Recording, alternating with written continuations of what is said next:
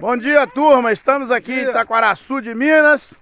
Vamos passear um tiquinho agora na estrada de terra. Sentir a poeira da estrada.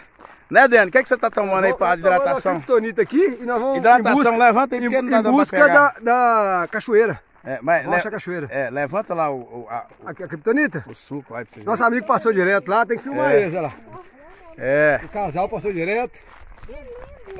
Nós vamos passear na estrada de terra para mostrar a natureza. Eles estão reclamando da poeira aí, mas é, não dá nada, não dá. A, a- a poeira que tá aqui não é muita, não.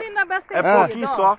A gente toma um golinho, engole essa poeira. É, isso aí, isso aí, aí engole É, a poeira junto. Engole E vamos embora, né? Acaba o problema de Bom demais esse domingão aqui, dia 27 de setembro de de 2020. Vai ficar registrado aqui esse momento aqui, agradecer a Deus por esse dia lindo, maravilhoso que nós estamos, né, curtindo aqui nessa nessa região de Taquaraçu de Minas.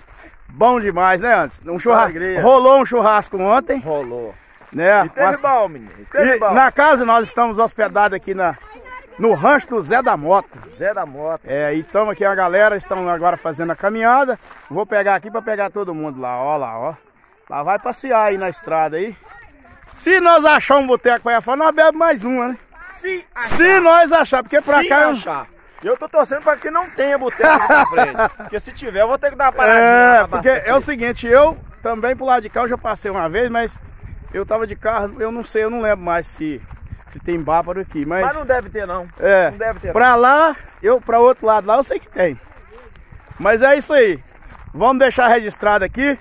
E Tá marcado. é isso aí, cara, ó. Tchau, E obrigado. eu espero que nas próximas oportunidades estaremos novamente filmando e apresentando aqui pra vocês o que é que nós gostamos de fazer nos finais de semana. Curtir a natureza. Aquele abraço.